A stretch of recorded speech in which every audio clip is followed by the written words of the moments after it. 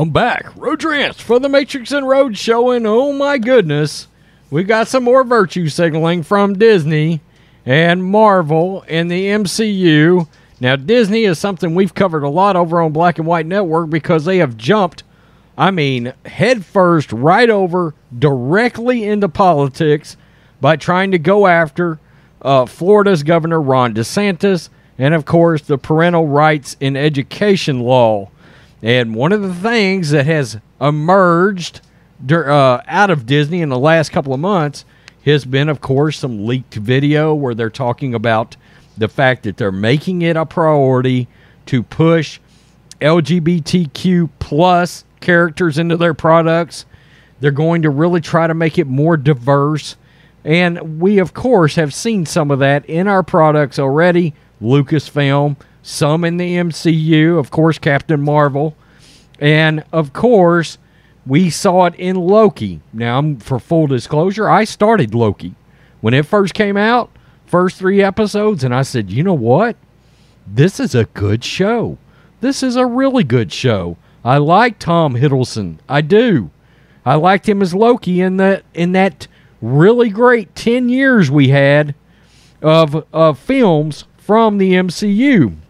Well, the MCU has turned into a dumpster fire, and of course, then we found out that Loki was going to be bisexual. And now, the star of that show, Tom Hiddleston, is saying they've got a lot a lot further they got to go. They got a lot further they got to go to take these characters and turn them political and to make social statements and to try to subject your children to things that you wouldn't expect your children to be subjected to if you set them down set them down in front of Disney Plus and allowed them to watch a show some things that you would not expect them to be able to hear and or see from a show.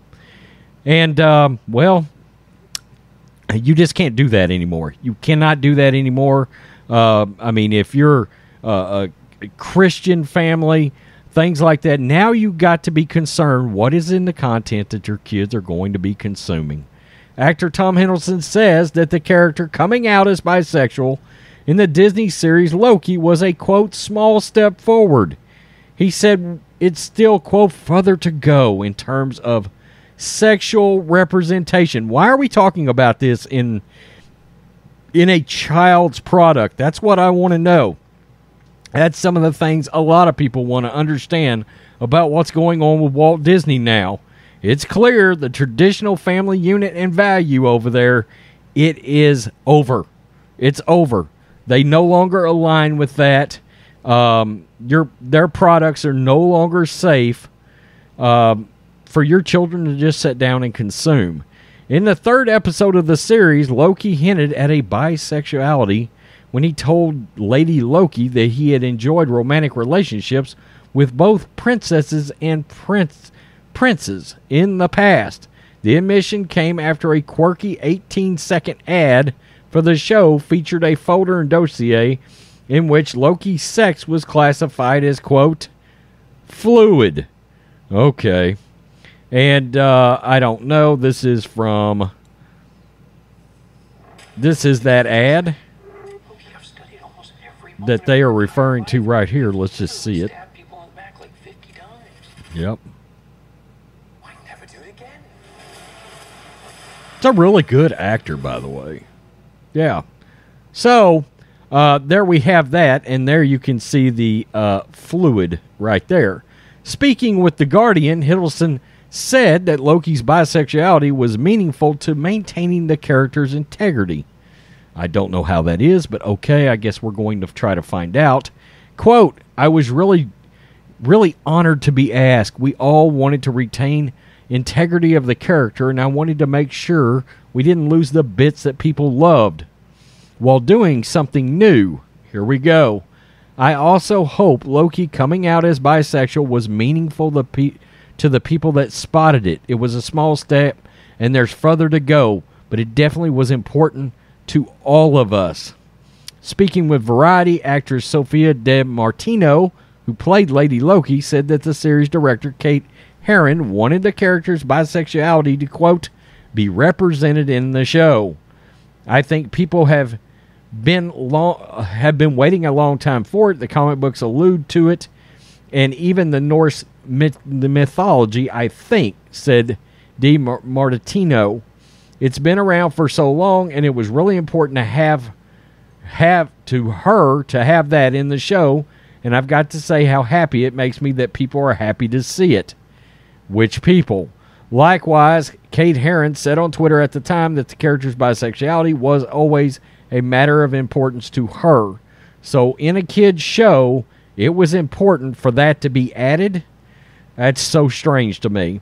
From the moment I joined Loki, it was very important to me and my goal to acknowledge Loki was bisexual. It was part of who he is and who I am too. I know this is a small step, but I'm happy and heart is so full to say that it is now canon. Wow. Okay. Herron hoped that future installments of the character will better explore that aspect of his personality. I hope not. Again, you should be able to put your kids in front of things on Disney Plus and then be able to consume it, and let uh, keep sexualities out of these shows. Um, it probably doesn't matter now. Many of you are not going to watch this show anymore, and I don't blame you. I'm not either. I don't know plans for the future with Loki. I'm so focused on this story, Herron said. But I would say that part of my thinking was well, if it's canon and it's acknowledged, then yeah, I hope there's obviously more road to travel with the aspect of his personality, and I hope it is. Wow. Wow. It was criticized by Russell T. Davies, creator of Showtime series Queer as Folk, criticized the moment as, quote, a feeble gesture by Disney. Wow. Okay. Loki makes one reference to bisexual once, and everybody's like, "Oh my God, it's a like pansexual show now." It's one word. He said the word Prince, and we're meant to go, "Thank you, Disney. Aren't you marvelous?"